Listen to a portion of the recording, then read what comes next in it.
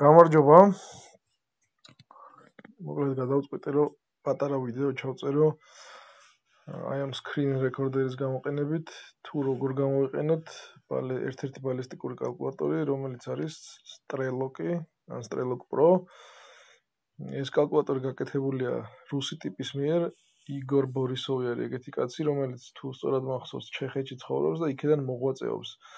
თუ რამე კითხვები არსებობს ამ კალკულატორის გამოყენებასთან დაკავშირებით არის ეგეთი ჯგუფი Facebook-ში, Strelok-ის და საკმაოდ აქტიურად პასუხობს ხოლმე თვითონ ბორისოვი ამა თუ იმ კითხვას და სულ კითხვას. ეგრევე ხო და მოდი ახლა დავიწყოთ ნელა აი ამ კალკულატორის გაცნობა, ასე ვთქვათ. პირველი მოდი შევიდეთ პარამეტრებში და შევხედოთ რეებია და რის საშუალებას გვაძლევს კალკულატორი. აქ არის ეგეთ ჩვეულებრივი სეტინგები და მოსანიშნი ველები, სადან საიდან შეგვიძლია მოვნიშნოთ, რომ მაგალითად პირველი ველი არის, რომ გაითვალისწინოს თუ არა დენთის ტემპერატურა ჩვენმა კალკულატორმა და ეს აუცილებლად მოსანიშნი ველია, იმიტომ რომ ეს ძალიან მნიშვნელოვანი პარამეტრი არის ტყვის საწყისი სიჩქარისთვის. ანუ მოგეხსენებათ, რომ დენთები სხვადასხვანაირი არსებობს.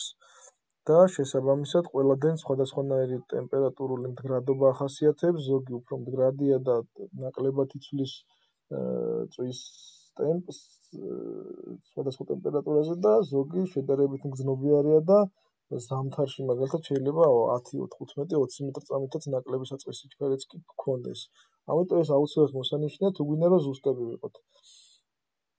შემდეგი ველი ეს რაღაცა show SMOA ინსემო არის რაღაც ამერიკული სიდიდე რომელიც ერთ ერთი ინჩ ნიშნავს 100 მეტრზე და შესაბამისად ამ შემთხვევაში ჩვენთვის აქტუალური არ არის. შემდეგ მოდის add vertical deflection of crosswind to results ეს არის საინტერესო სიდიდე, როდესაც მაგალითად გვერდითი ქარი ჩვენს ტყვიას მიმართულებას ცვლის ზევით და ქვევით. ანუ გარდა იმისა, რომ ჩვენი ტყვია ქარის დროს მიდის ქარის საწინა ქარის საწინააღმდეგო მიმართულებით, ასევე გვეუბნებიან, რომ ჩვენი ტყვია ასევე იცვლის ტრაექტორიას და ბალისტიკურ ტრაექტორიას და ხდება ან უფრო ზევით, ან უფრო ქვევით. ამის მიზეზი არის მხოლოდ და მხოლოდ ტვისტი, ანუ ტვისტი, რომელიც ატრიალებს ჩვენს ტყვიას და თუ თქვათ ამბობენ ყოველ შემთხვევაში ეს გადასამოწმებელი არის მე მაგალითად რაც მისვრია შემიმჩნევია მსგავსი მოქმედება ტყვის, მაგრამ ну ძირითადად ძალიან დიდი ძალიან დიდ სხვაობებს არ გვაძლევს და ამიტომ ხანდახან თუ ძალიან შორს არ ვისურვით მაგალითად 500 მეტრამდე სროლისას დიდად ყურადღება მისაქცევი არ არის. თუმცა 1-2 კლიკი მაინც შეიძლება მოგცეს სხვაობა ქარის სიჩქარეს გააჩნია რა თქმა უნდა. ანუ გულისხმობ იმას რომ როდესაც ტყვია მაგალითად მარჯვენა მხარეს მარჯვენა არის ქარი ტყვია მიდის ზემოთ უფრო ბალისტიკური ტრაექტორია უკეთესია, ასე ვთქვათ და როდესაც ქარი არის მარცხენა მხრიდან, ბალისტიკური ტრაექტორია უარესდება და უფრო მეტად ვარდება. ნუ ამას გვეუბნება კალკულატორის და შეგვიძლია მე შევამოწმოთ უშუალოდ პროცესში.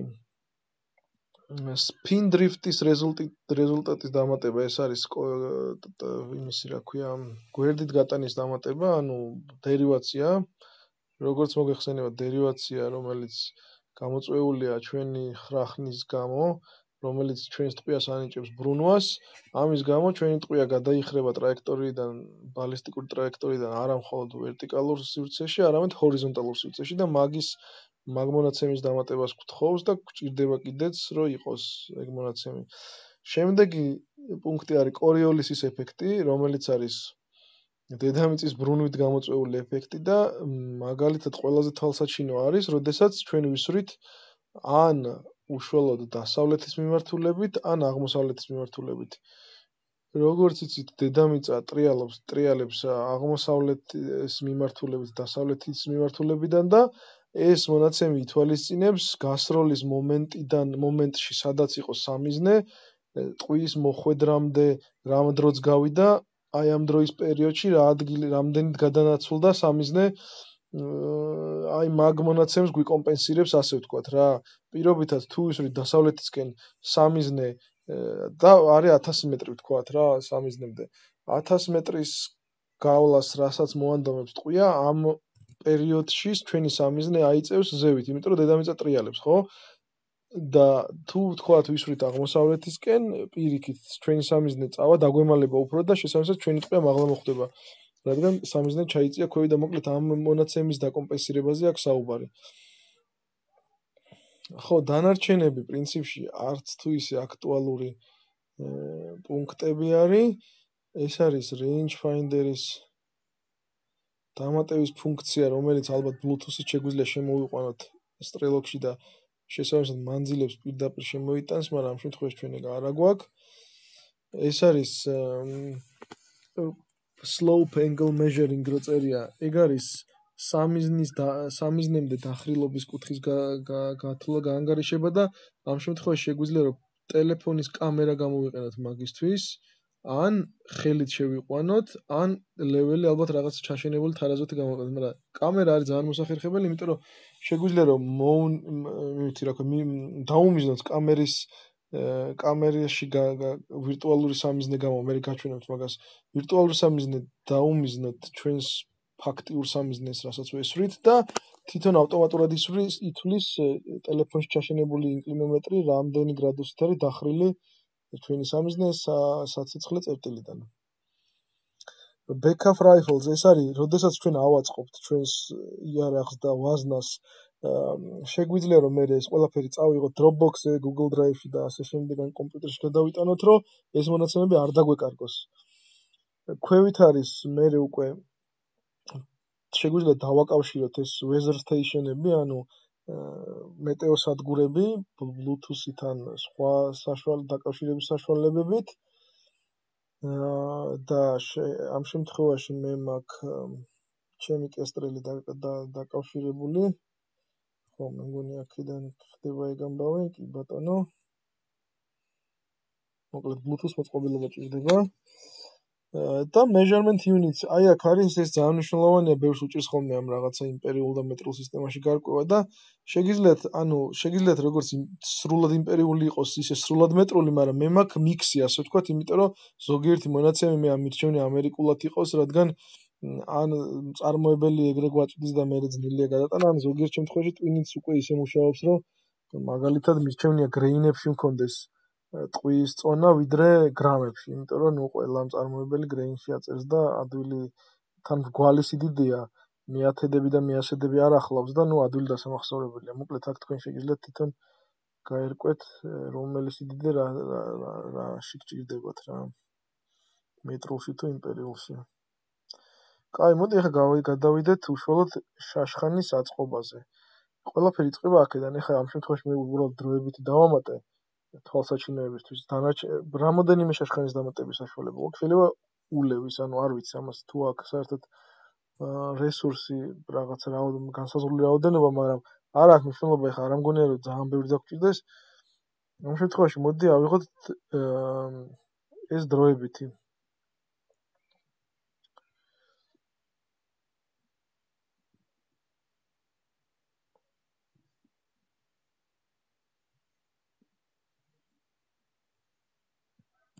მოდი თავიდან დავამატოთ.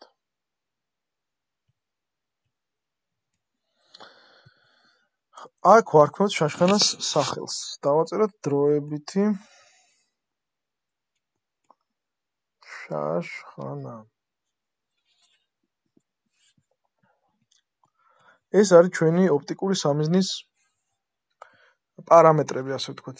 ეს არის განულების მანძილი, ეს არის რა მანძილში გავანულეთ უკვე ან ვაპირებთ რომ გავანულოთ იარაღი, ну ძირითადად 100 მეტრს ხმარობს ყველა და შესაბამისად შეგვიძლია დავტოვოთ. აქ ვაყენებთ მანძილს ოპტიკური სამიზრის ცენტრიდან ლულის არხის ცენტრამდე. ეს არის ცოტა ისეთი განსაზღვრული სკრუპულოზური, მაგრამ არაფერი განსაკუთრებული რთული არ არის, შესაძლებელია რამდენიმე მეთოდი არსებობს და შეგიძლიათ ეს ინტერნეტშიც ნახოთ. იმიტომ რომ აქ შეიძლება ეხა რაღაცა ძალიან პატარა ცნობილება გქონდეთ, მაგრამ დიდი არ უნდა გქონდეთ, რომ მანძილებზე მეორე სხვაობები არ მოგწეს. აა scope clicks units ეს არის ჩვენი ოპტიკური სამიზნე რა CDD-ში არის ამ შემთხვევაში იგულისხმება დოლურის წკაპები. მოდი ავიღოთ მილი ემრადი, იმიტომ რომ ბოლო პერიოდში ყოველას თითქმის მილირადიანებში გვაქვს ოპტიკები, იმიტომ რომ მოა თვით ამერიკაშიც კი ნაკლებად პოპულარული ხდება დღით დღე. ამიტომ მილირადიანებზე გავაკეთოთ.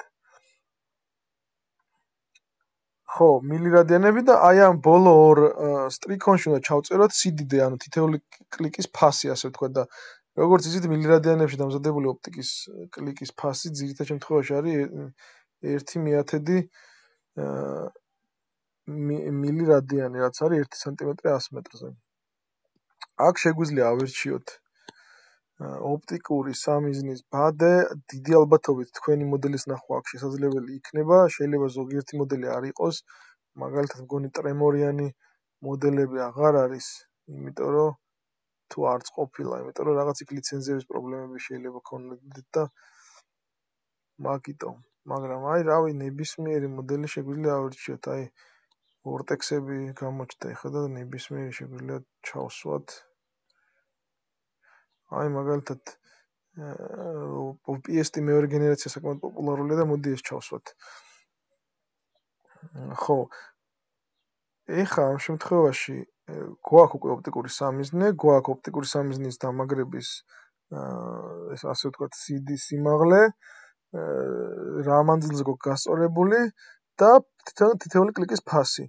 ქვედა სივრცეში ჩვენ წერთ იდეაში მინიმალურ და მაქსიმალურ გადიდებას და იმ გადიდებას რა გადიდებაზეც მუშაობს ოპტიკური სამიზნის ბადე, ასე ვთქვათ, დანაყოფები, შტრიხებს შორის დაშორებები და მათი ზომები, მაგრამ ვინაიდან ეს ჩვენ შეგვიძლია მოვნიშნოთ ახლა ამ შემთხვევაში ეს ვორტექსიც ნამდვილად პირველი ფოკალურია და ამ პირველ ფოკალურს რომ ნიშნავთ, უკვე ეს მინიმალური და მაქსიმალური მაგნიფიკაცია აქტუალურს ბას კარგავს, ასე ვთქვათ და აღარ არის აქტუალური, ამიტომ შეგვიძლია რომ გადავიდეთ შემდეგ ნაბიჯზე.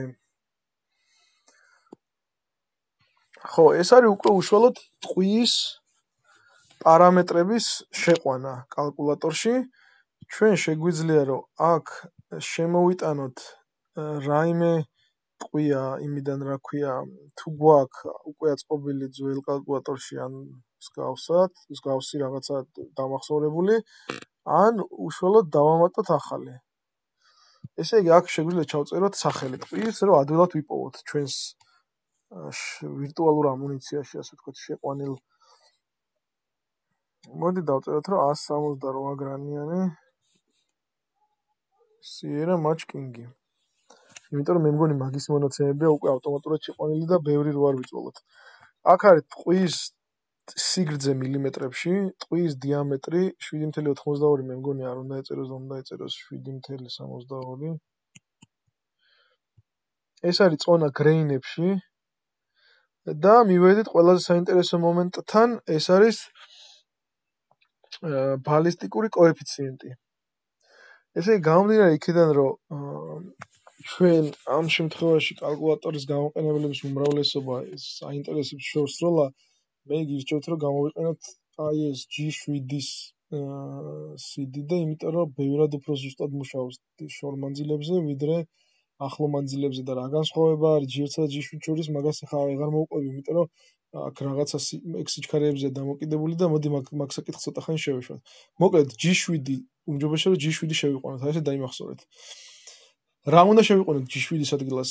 ვარიანტი 1 არის, რომ წარმოებელი ამბობს, რომ ჩემი G7-ო პირობითად Sierra შემთხვევაში არისო 226. შეიძლება რა, რაღაცა დაახლოებით ახლოს იქნება. მაგრამ შესაძლოა რომ წარმოებელი თავის პროდუქციას იმაზე უკეთესად ასაღებდეს, ვიდრე არის რეალურად. ანუ ამ შემთხვევაში გულისხმობ იმას, რომ თავისი G7 უფრო ნაკლები იყოს, ну, შეგახსენებთ, რომ მოკლედ რაც უფრო მაღალია ბალისტიკური კოეფიციენტი, მით უფრო ნაკლები აქვს წინაღობა ტყვიაზე, მით უფრო მდგრადია ქარზე, მით უფრო ნაკლებად ვარდება ტრაექტორიაზე და მოკლედ უკეთესი არის, რა, რაც უფრო მაღალი არის კოეფიციენტი და შესაძლოა რომ ქარხნის წარმოებლის მიერ მოწოდებული მონაცემი თლად რეალობას არ შეესაბამებოდეს, მაგრამ მოდი ცოტა ხანი ეგ გვერდზე გადავდოთ და თქვათ, რომ ჩვენი CDD არის 236, თქვა რაც აწერია ყუთზე. ხო, მე შეყავს სიჩქარე. ტყვი საწყისი სიჩქარე. და აი აქ არის თუ ამჩნევთ 5 სხვადასხვა სტრიქონი. ანუ ეს რას ნიშნავს, რომ თითეული ტყვის სიჩქარე შეყვავს თითეული at powder temperature აი ზევით მარჯვენა მხარეს წერია. ესე იგი თითეული გასვლის დროს უმჯობესია რომ ხუთი გასვლის შემთხვევაში ხუთ სხვადასხვა ტემპერატურაზე გავზომოთ ჩვენი ტყვის საწყისი სიჩქარე. პირობითად ეხლა ვთქვათ თუ 807 მეტრი წამი გვაქვს 30 გრადუსზე და 794 20-ზე შეგვიძლია ვთქვათ რომ ვთქვათ რა აი ძალიან მაგალითისთვის მოყვა 771-ია ვთქვათ -15 გრადუსზე და რაღაცა 750 მეტრი წამზე ჩამოდის მინუს ვთქვათ 20 გრადუსზე თუ დააკვირდებით ქვედა მხარეს temperature sensitivity factor რო წერია ეს არის აი ზუსტად ის დენთის ტემპერატურისადმი მდგრადობის მგრძნობელობა, რაზეც ცოტა ხნის წინ გელაპარაკეთ. ანუ რაც უფრო მაღალია ეს ფაქტორი, მით უფრო ცუდია დენთი ტემპერატურული მდგრადობის მიმართ. ანუ მით უფრო დიდი სხვაობები იქნება ტემპერატურის განსხვავებული ტემპერატურების დროს სროლის დროს ასე ვთქვათ რა. ხო და ჯობია რომ ეს ფაქტორი რაღაცა 1.5-ზე და 2-ზე მეტი არ იყოს ხოლმე რა. კაი დენტები შეიძლება 0 0.7 მე 8000-საც აღწევდეს ხოლმე მოკლედ ეს ესენი ყველა ვარიანტში გადასამოწმებელი არის რომ რა ტემპერატურაზე რა სიჩქარეს გაძლევთ თქვენი ტყვია მაგრამ შეიძლება არ კონდეთ კაც ქრონოგრაფი და ისე გინდათ ტყვის სიჩქარეს სიჩქარის გაგება ქრონოგრაფის გარეშე. ნუ ზუსტად რო გავიგოთ ეგ ცოტათი რთულია, მაგრამ თუმცა შევეცდები მაინც რომ აი ამ კალკულატორის გამოყენებით გაჩვენოთ როგორ შეიძლება რომ გავაკეთოთ ეგ. მოკლედ ეს დავიმახსოვროთ რომ საწყის სიჩქარის ველის შეყვანა არის თავარი ფაქტორი იმისა რომ კალკულატორი იმუშავებს ზუსტად. ანუ საწყის სიჩქარის და ტყვის მონაცემების, ანუ გულისხმობ სიგრძეს, წონას და რაც თავარა კოეფიციენტს. აქ გვაქვს ჩვენ ეს არის zeroing weather match current weather. ხო, ეხლა ამ შემთხვევაში მონიშნულია რომ განულების დროსო ამინდის კონდიციები შეესაბამებაო ეხანდელ ამინს. ანუ ჩავთვალოთ რომ ეხა ვანულებთო. მაგრამ მოდი არა. მოდი ჩავთვალოთ რომ ჰიპოთეტიურად ჩვენ გავანულეთ ერთი კვირის წინ და ერთი კვირის წინანდელი მანძილი ესა ისინი უნდა შევიყვანოთ პარამეტრები მოკლედ რა. ვთქვათ ერთი კვირის წინ იყო პირობითად 10 გრადუსი. ვისროლეთ ეს არის წნევის გრაფა, რომელიც არის ძალიან მნიშვნელოვანი და ძალიან დიდ ეფექტს ახდენს ტყვის ტრაექტორიაზე ზოგადად ატმოსფერული წნევა. ამიტომ თუ თქვენ არ გაქვთ კესტრელი ან სხვა რამე მეტეოსადგური პორტატული მოწყობილობა, რომელთაც ითვლის წნევას, ძალიან კარგად ითვლის smartphone-ების აბსოლუტური უმრავლესობის შიდა ჩაშენებული ბარომეტრი. აი ხა მაგალითად აი 9.67, ხო? ამას რო შეადარო ეხანდელი კესტრელის მონაცემები, თითქმის ერთ-ერთი შემთხვევა, აი ნახევარი ჰექტოპასკალი მილიბარი შეიძლება იყოს განსხვავება და ამიტომ არ ღირს ამაზე ბევრი დროის დაკარგვა. წნევა არის უბრალოდ წნევა ვილაპარაკეთ ტენიანობა, ტენიანობა არის ნაკლებად მნიშვნელოვანი პარამეტრი, თუმცა თუ რაც უფრო ზუსტად შევიყვანთ ყველაფერს, მით უფრო ზუსტი იქნება საბოლოო გამოთვლებიც და ჯობია რომ შევიყვანოთ, მაგრამ თუ არ ვიცით 50% არის საშუალო და შესაბამისად დიდ რეა იმას არაკეთებს ხოლმე, რა ქვია, გადახრებს ტყვის ტრაექტორიაზე არ ახდენს ხოლმე მოკლედ გავლენას რა. მაგრამ ისედ ზოგადად იცოდეთ რომ წვიმიან პერიოდში ან ნაწვიმარზე მზის დროს ან ნესტიანი ამინდის დროს სადღაც 80%-ზე ზევით არის ხოლმე ტენიანობა და მშრალ ამინდში სადღაც 40%-ზე ჩამოდის ხოლმე და ამიტომ რაღაცა მაგრეინში შეგიძლიათ მაგ მაგ იმაში მოძრაოთ. აი ახლა მაგალითად ეს არის ძალიან მნიშვნელოვანი, რაც წერანაც გელაპარაკეთ არაერთხელ. ეს არის დენთის ტემპერატურა. მოკლედ შეიძლება რომ თეორიულად თუ დიდი ხანი ვისვრით და ტყვიები გარეთ გვილაგია ხო, ჭრილში და არა მზეზე, გარემო ტემპერატურა და დენტის ტემპერატურა ერთმანეთს ემთხვევა, რადგან გილზი, რომელიც არის ლატუნისგან დამზადებული, კარგი გამტარია და მალევე ახდენს გარე ტემპერატურის შეღწევას, ასე ვთქვათ, შეტანას იმაში, რა ქვია. მ დენტში და მოკლედ დენტის ტემპერატურაც ხშირ შემთხვევაში ემთხვევა ხოლმე გარემო ტემპერატურას, მაგრამ მოდი ჩვენ ვთქვათ, რომ არ ემთხვევა ამ შემთხვევაში ეს რაღაცები წამეშალა და თავიდან შევიყვანო. მოდი ჩავთვალოთ რომ ჯიბეში გვედო ჭიდი და იქიდან ის შესაძლოა მაშინ აა ტყვიების ანუ დენთის ტემპერატურა უფრო ახლოს იქნება ორგანიზმის ტემპერატურასთან ვიდრე მაგალითად გარემო ტემპერატურასთან და ამიტომ შეგვიძლია რომ 35 გრადუსი გამოვიყენოთ. სხვათა შორის ამ ხრივ სნაიპერები ხმარობენ რომ თუ არის თუ ძალიან ცივან რაღაცა სულ შენახული აქვს შიდა ჯიბეებში ტყვიები რომ სულ ერთი და იგივე ტემპერატურაზე კონდეთ გამთბარი ასე ვთქვათ ტყვია და შესაბამისად იციან ხოლმე მაგ ტემპერატურაზე რა საწყის ჩქარი აქვს, რომ გასწორი ზუსტი გასროლა განახორციელო. კაი. ეხლა გადავიდეთ ცოტა ქვევით უფრო. ეს 0 offset-ი არის. თუ ჩვენი ოპტიკის ღერძი და ლულის ღერძი ერთმანეთს არ ემთხვევა და პარალელური არ არიან და მაგალითად ესვედეს ოპტიკის გახსენება შეიძლება აქ რომ ცოტა გვერდზე დგას და ლულა ცოტა მარჯვნივ არის და ოპტიკა მარცხნივ არის ამ შემთხვევაში თანამედროვე შეშხანებზე ეგრე არ აყენებენ და ამიტომ შევეშვათ მაგ საკითხს speed drop factor-ი ეს არის თუ გახსოვთ რაღაცა ცოტა ხნის წინ სტატიაც დავწერე ამაზე როგორ გამოგვეთოლა ჩვენით ეს, მაგრამ სტრელოკი იძლევა ამ საშუალებას, რომ პირდაპირ ერთი დაკლიკებით შეუძლია რომ გვითხრას მოკლედ ეს ჩვენი სპიდრო ფაქტორი რა არის და თუ რა არის სპიდრო ფაქტორი შეგიძლიათ სხვა წინა პოსტებში ნახოთ იქ არის ამაზე საუბარი, ეხლა ამაზე დღეს აღარ შევჩერდები, ამ ვიდეოს დროს დროს აღარ დაგაკარგინებთ. აი, მოკლედ ახლა ჩვენ უკვე შეგვიძლია ვივარაუდოთ, რომ ჩვენი შაშხანა არის აწყობილი ერთადერთი, ანუ ოპტიკა დავსვით, ოპტიკის პარამეტრები შევიყვანეთ, ტყვის პარამეტრები შევიყვანეთ, აი აქ შეგვიძლია twist rate, სადაც წერია. ჩავთვალოთ, რომ ჩვენი twist-ი არის, თქვა 10, რომელიც საკმაოდ გავრცელებული არის. და აქ უცებთ მარჯვენა ტვისტია თუ მარცხენა ტვისტი. ძირითადად შაშხანების უმრავლესობა მარჯვენა ტვისტით ხასიათდება და ამიტომ ეგეც გასათვალისწინებელია თუ რამე განსხვავებული გიქნებათ, რომ მარცხენა ტვისტზე შეცვალოთ.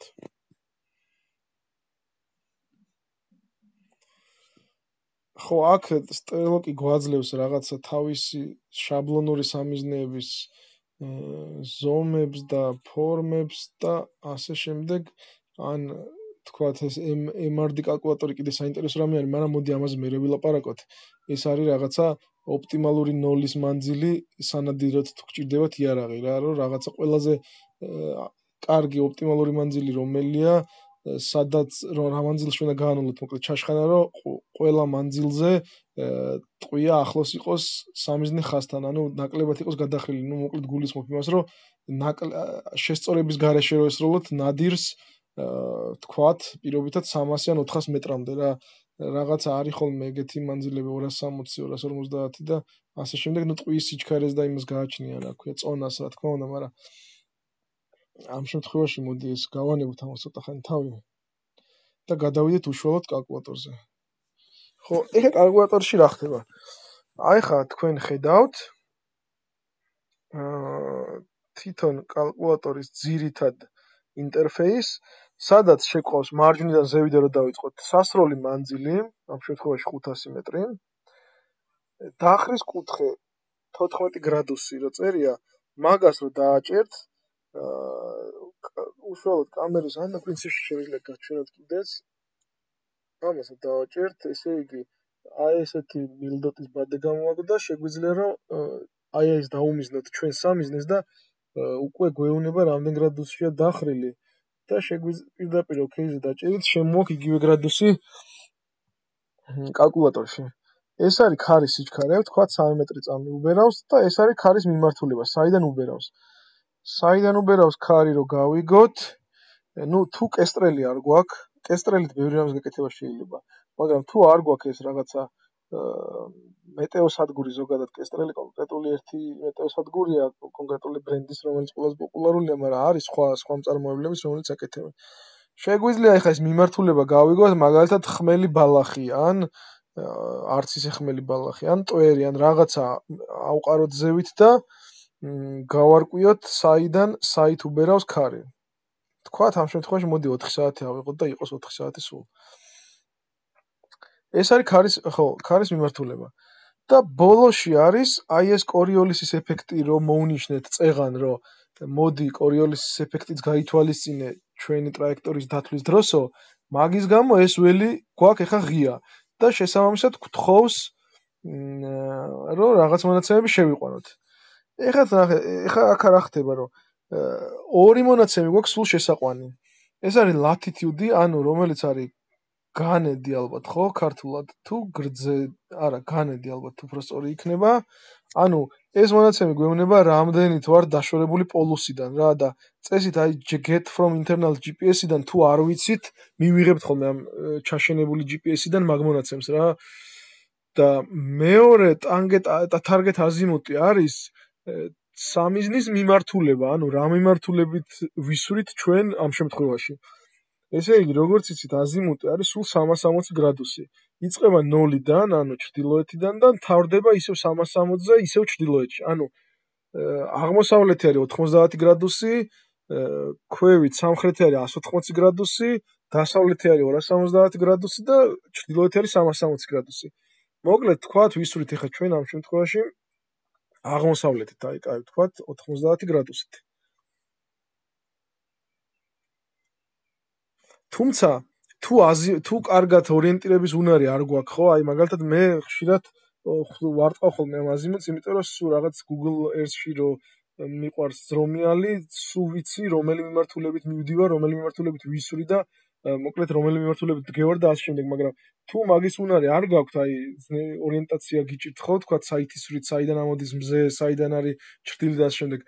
მაშინ შეგიძლიათ რომ ეგ მონაცემი წამოაღებინოთ smartphone-ში ჩაშენებულ GPS და კომპას. აი ხედავთ კიდეც რომ არის მოსანიშნი ისინი რა ქვია ველები და შესაბამისად თვითონ გააკეთებს ყველაფერს მოსამონისოთ რა. გადავიდეთ ამინდზე. ეს არის უშუალოდ ამინდი სროლის მომენტში. ხო გახსოვთ იქ იყო მანამდე იყო განულების დროს ამინდი და ეს არის ამინდი რომელიც არის აიხლა ამ წუთას და როცა სროლას ვახორციელებთ რა. ანუ ეს ყოველთვის განსხვავდება იმ ამინდისგან, რომელიც იყო განულების დროს. შესაბამისად, აქ ხელმეორედ ყავს შესაყვანი ის მონაცემები, რაც იხამ წუთას არის. მოდი ჩავთვალოთ, თქვა ეხა სიცხეა. ვისვრით. აი 966.9 967 მილიბარის დროს. ტენიანობა არის თქვათ რაღაცა რა 50% და powder temperature ანუ დენტის ტემპერატურა არის ხო რავი 25 გრადუსი დავტოვოთ. სხვადასხვა ყურადღება მიაქციეთ იმას რომ როცა ზამთარში მაგალითად სასროლად მიდიხართ და გარეთ ცივა მე კი გითხარით რომ ანუ დენტის ტემპერატურა ხშირად იგივეა რაც გარემო ტემპერატურა თქო მაგრამ მაგალითად, როცა ზამთარში თბილი მანქანიდან გადმოგაქვს ტყვიები, მაშინ ტყვიების ტემპერატურა, ან დენთის ტემპერატურა ბევრად უფრო მაღალია ვიდრე გარემო ტემპერატურა რა. და მაგას ერთი პატარა მოწყობილობა უნდა, რომ პრინციპში იმის გარეშე, რა ქვია, ვარაუდების გარეშე რომ იცოდეთ რა ტემპერატურა აქვს დენთს, პატარა 5 თუ 6 დოლარიანი თერმომეტრის ჩარჭობა უნდა ცალ ცარიელ გილზაში, ასე ვთქვათ და უკვე გეცოდინებათ ყველაფერი და აღარ იმარჩიელებთ მაგ ტემპერატურაზე. მოკლედ აქ ვავსებთ ჩვენს ეხანდელ ამინს, როცა ვიწყებთ სროლას.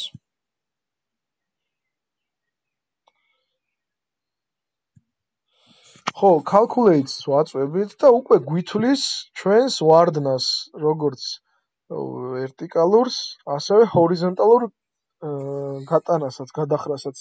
ეხლა ამ შემთხვევაში ჰორიზონტალური გადახრა გვაქვს მარცხენა მხარეს, რადგან როგორც გახსოვთ, ქარი იყო 4 საათიდან, აი მიმართულებაც აქ კარგად ჩანს. და შესაბამისად ჩვენი ეს კალკულატორი გვეუბნება, რომ ჩვენი ტყვია წავა 29 სანტიმეტრით მარცხნივ. და ჩამოვარდება 174 სანტიმეტრი ქვევით. მაგრამ აი ხა ნახეთ რა საინტერესო რამე არის. თუ თქვათ ჩვენ გვაქვს რომ ქარი არ არის. ხო გახსოვთ იქ მოუნიშნეთ რომ ქარმა ვერტიკალური შესწორებაც შეგვიცვალოს თქო გაითვალისწინოს ვერტიკალური შესწორების დათვლის დროს ქარი გავითვალისწინოთ მაგალითად ეს 174 სანტიმეტრი და იმახსოვრეთ ვარდნა და როდესაც ქარი არ არის მაგ შემთხვევაში ვარდნა მეტია. ხედავთ? და შესაბამისად გვერდზე უკვე მარცხენა მხარეს კი აღარ გადის 26 სანტიმეტრი თუ რამდენიც იყო, უკვე მარჯვენა მხარეს გადის 7 სანტიმეტრი და ეს არის ზუსტად დერივაციის დამსახურება, რომ დერივაციის გამო ეხა უკვე ტყვია ჩვენო ტყვიამ გადაინაცვლა მარჯვენა მხარეს და 1.5 კლიკის დაკომპენსირებას გთხოვს კალკულატორი და მოვახვედროთ ცენტრში. ე ამ ყველაფრის ნახვა შეგვიძლია ბადეზეც უშუალოდ როგორ გამოიყურება ბადე. აი ჩვენი ბადე, ეს EBR2 თუ რაღაცა vortex-ის ბადე მოკლედ. და აქ ნაჩვენებია, რომ ხო, ესე იგი 3.6-ით დაახლოებით, ხო? ესე ჩა 3.6 მილირადიანით უნდა ვესწროთ. მითითებულ მანძილზე და ოდნავ მარჯვნივ, ну ოდნავ არის 1.5 კლიკით მარცხნივ უნდა ვესწროთ, რომ გვერდზე გამარჯვენი გატანა და დააკომპენსიროს. ამას ასევე აქვს საინტერესო ფუნქცია, რომ თუ მაგალითად ან ძალიან შორს ვისვრით, ან სხვა მიზნების გამო შეგვიძლია რომ ნაწილი გავაკეთოთ აი ზევით არის დოლურა. ნახეთ, ზევით დოლურის დატრიალების ფუნქცია აქვს. შეგვიძლია რომ ნაწილი დავატრიალოთ დოლურით, მაგალითად 6 კლიკი. და უკვე ბადეზე გამოგვიტანს იმ იმ დაკომპენსირებულ მონაცემს მოგცემს, რაც თქვათ, აი ბადის დამატებით, მოკლედ ამ შემთხვევაში კომბინირებული სროლა გამოდის, ანუ ნაწილი დაკომპენსირებულია ბადის დოლურის საშუალებით და ნაწილი ბადის.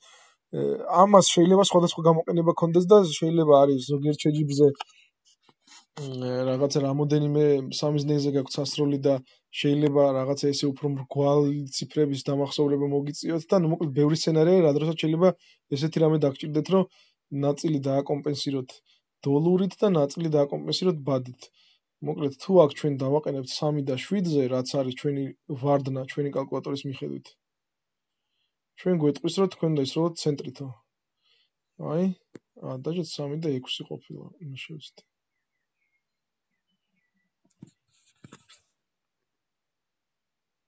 კი, 3 და 6 არის ჩვენი აა ცენტრი. ანუ თუ 3 და 6 გადავწევთ ზედა დოლურაზე, შესაბამისად ბადე მოგვიწევს რომ ცენტრით ვესროლოთ.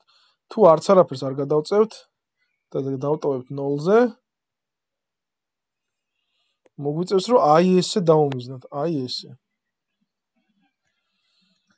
თუ ქარს მოუმატებთ, მაგალითად ქარს ვეტყვით რომ ეხა როგორც ხედავთ, გთხოვს ოდნავ მარცხნივ დამიზნებას, ანუ 1.7 სანტიმეტრით მარცხნივ, რადგან დერივაციას დააკომპენსირება უნდა რა. თუ თქვა ქარს ჩავწერთ, რომ 5 მეტრწამი არის, ისე 4 საათიდან დავტოვოთ. მაგ შემთხვევაში უკვე ნახეთ სად არის გასული ჩვენი ბადე. ანუ გარდა იმისა, რომ გვე მარჯვნივ გაგვატანინა, რადგან ქარი უბერავს მარჯვენა მხრიდან, გთხოვს თითქმის 1 მილი 1 მილზე უფრო სწორად 1 მილზე უფრო მეტის დაკომპენსირებას და გვეუბნება რომ ოდნავ ზევიწავა თქვენი ტყვიაო რადგან როგორც გითხარით დერივაციის გამო ანუ გვერდითა ტრიალის გამო მარჯვენა ქარზე ჩვენი ტყვია მიდის ზემოთ და მარცხენა ქარზე მიდის ჩვენი ტყვია ქვევით. აი თუ გინდათ გადავამოწმოთ ეგა ეხლა ამ შემთხვევაში ქარი გვაქვს 4 საათიდან და ჩვენი ტყვია მიდის ნახეთ 3.170 სანტიმეტრს გვეუბნება ვარდნას. თუ ქარს ქარის სიჩქარე დავტოვოთ ისე 5, ანუ ქარის სიჩქარეს არ ვეხებით, მაგრამ მხოლოდ ცვლის მიმართულებას მეორე მხრიდან. ზუსტად იგივე გავაკეთეთ 8 საათიდან.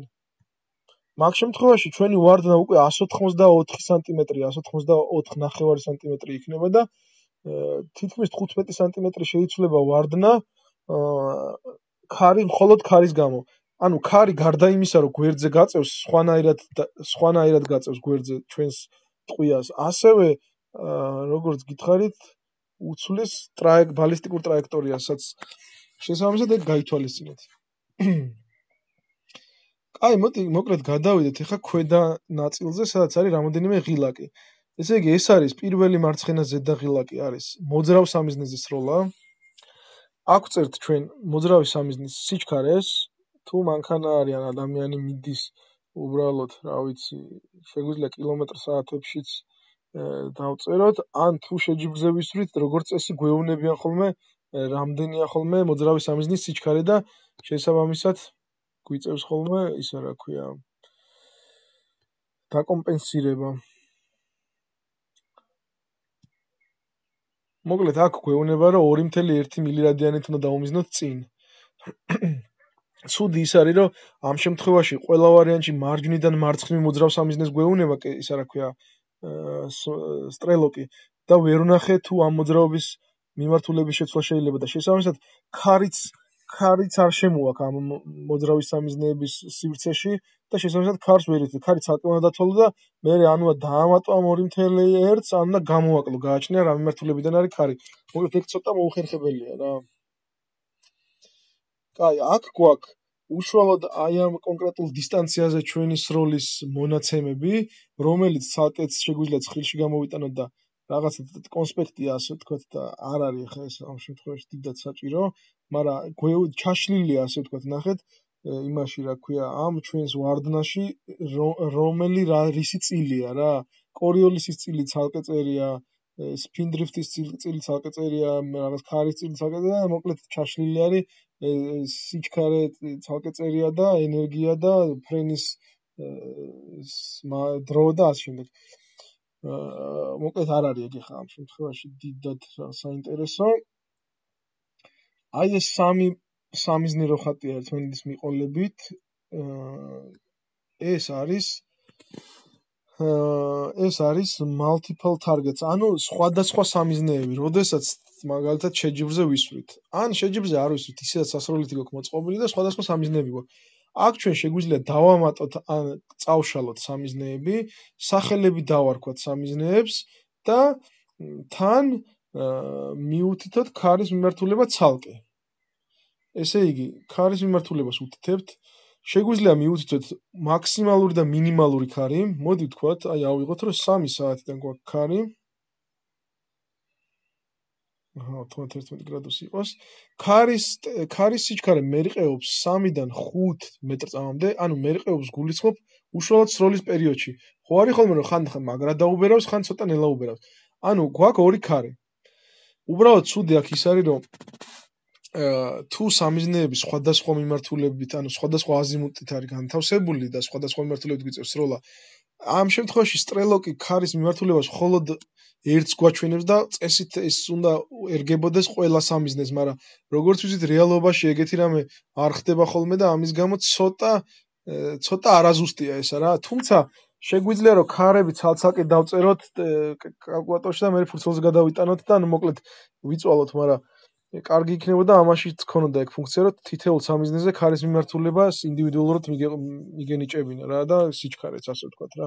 იმიტომ რომ ვიცით რომ ყოფილა რა ჩვენთან არაერთხელ შეჯიბზეთ შემთხვევა, რომ როცა სამიზნეს ერთმანეთთან დიდი მანძილი 200-300 მეტრით არის განსხვავებული, ხანდახან ზურგში გაქარი და ხანდახან მე უცებ რაღაც გვერდით ქარის ქარის მიმართულებით ეს. მოკლედ აი ეგ თქვენთან დასწრებით ეხა ერთსა სამიზნეს დავამატებ. ერთი წამი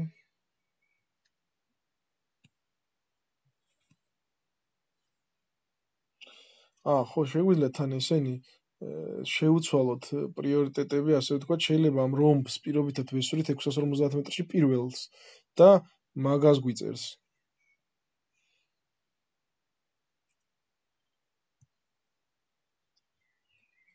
შეგვიძლია დავამატოთ ნებისმიერი ესე იგი სახელს დაარქვეთ, თქვათ არის რა დავარქვათ? წრე, წრე იყოს სამიზნე. წრე 25-იანი, 25 მმ. მე აი აქ წერთ რა მანძილზეა დაშორებული ჩვენგან? პირობითად მოდი იყოს 740 მეტრი. აქ წერთ გრადუს, ანუ რა გრადუსი არის დახრილობა? ეს გრადუსი როგორ უნდა დავთვალოთ, ეგეც კი გითხარით. და ჩვენი წრე უკვე გაჩნდება აქ სიაში. აა მარცხენა მხარეს რო ყვითელი წარწერები წერია, ესენი არის ვარდნა, ანუ ლურჯს ალბათ ხვდებით, ლურჯები არის დისტანცია. მეორე სვეტში რო ყვითელი წარწერებია, ეს არის ვარდნები, ანუ მილირადიანებში არის ვარდნა გამოტანილი. შემდეგ არის აი ეს თეთრი დასახელებებია, რომბი, T1, T2, T3 ისინი დასახელებებია და მწვანეში არის მინიმალური და მაქსიმალური ქარის დროს შესწორება რა უნდა გქონდეს რა. ეხლა მაგალითად აი წრეზე ხო გვაქვს 1.1 2 მეტრწამი. ეს ეს მუშაობს აი ამ ქარზე, რომელიც გვაქვს მითითებული, ანუ 3 საათიდან 3-დან 5 მეტრწამამდე. უშუალოდ სროლის დროს რა ქარი იქნება, ხო? 3 იქნება, 3.5, 4 თუ 5 თუ ასე შემდეგ. ამის დრო არ არის ხოლმე, რომ ჩავხედოთ ან კესტრელში ან სხვა რაღაცა და სხვა რამით გავიგოთ, ანუ ქარის ზუსტი სიჩქარე უბრალოდ ეს უკვე ინდივიდუალური უნარები არის მსროლელის, რომ თვითონვე გადაწყვიტოს ეხა მაგალითად ამ წრეს 25 მმ-იან წრეს ესროლოს 1.1 მილით თუ 2 მილით თუ თუ რამდენი მილით მოკლედ ეს თვითონ მისი კონკრეტული მსროლელის გადასაწყვეტია და ამას კალკულატორი ვერ გადაგიწყვეტავთ ვერანაირად. აქ გვაქვს ცხრილი, ანუ ეს მარჯვენა ზედა კუთხეში არის ცხრილი და ამ ცხრილს შეგვიძლია უქნათ რაც გვინდა ის, ესე იგი ტექსტის ზომა შევცვალოთ. დავაყენოთ მინიმალური მანძილი, მაქსიმალური მანძილი, თქვათ, მოდი მაქსიმალური მანძილი იყოს 1200 მეტრი.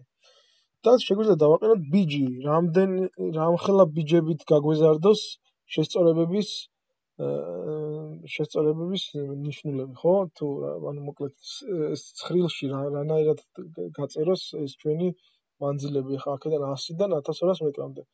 ბიჯი არა ჩვეულებრივი. შეგვიძლია 50 მეტრიანი ბიჯით გავაკეთოთ. და აი ამ სიაში, რასაც ქვევით, ხედავთ. აი აქ შეგვიძლია ზედმეტი მონაცემები ამოვყაროთ, რომ ძალიან გადატვირთული არ იყოს და საჭირო მონაცემები ჩავყაროთ.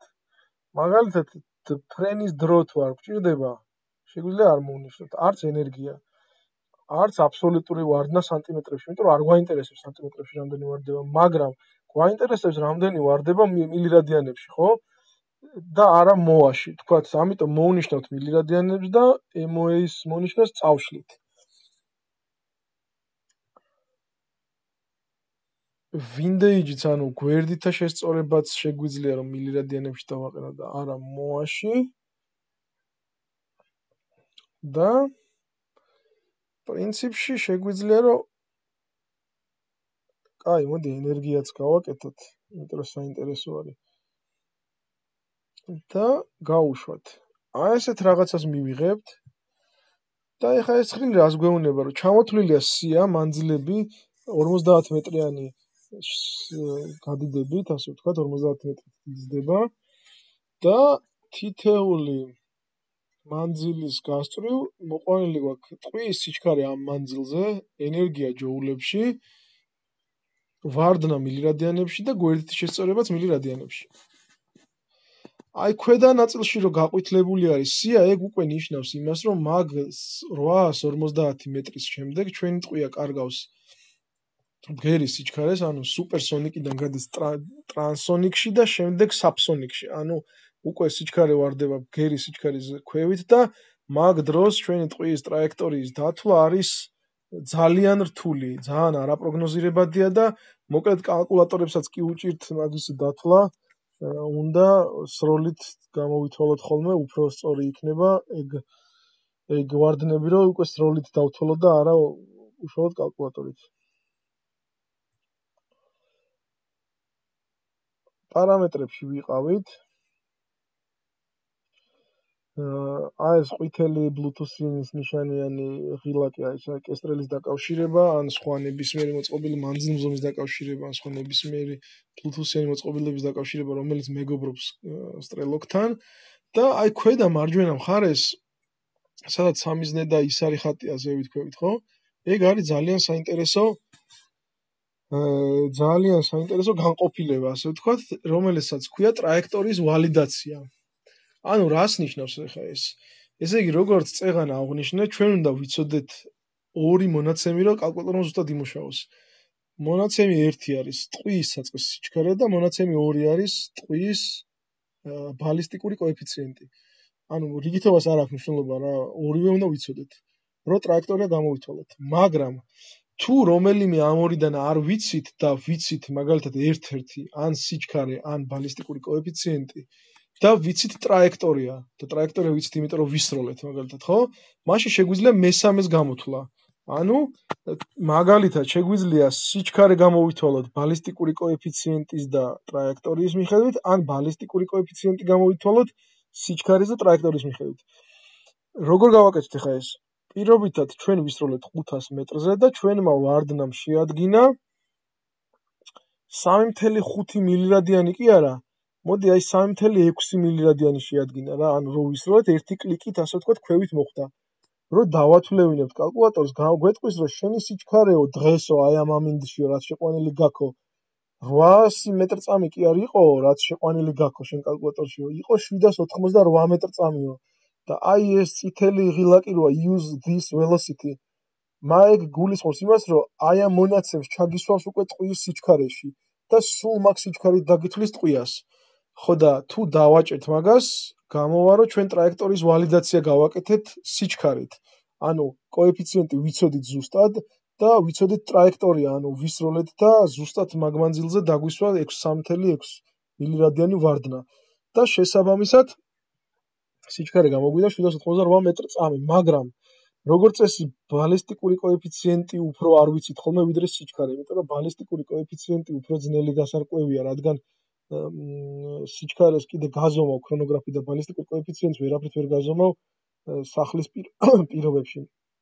ხო და ძირითადად თუ სიჩქარე ვიცით და სიჩქარე ჯობია რომ ვიცოდეთ, ვეთხოვოთ ვიღაცას ქრონოგრაფი ან რაღაცა ბალისტიკური კალკულატორის უბრალოდ ბალისტიკური კოეფიციენტის ვალიდაცია ზუსტად იგივე პრინციპით ხდება, რითაც როგორც სიჩქარის. ანუ პროცედურა ზუსტად იგივეა. ვეუბნებით რომ 500 მეტრზე ვისროლე, აგერ არის ჩვენი მანძილი